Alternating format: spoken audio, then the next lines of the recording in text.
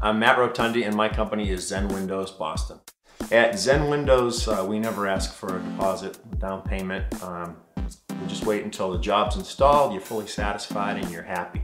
And um, it's really, why would you want to do it any other way?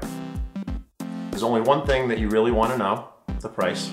And we can give you that in five minutes. As simple as that.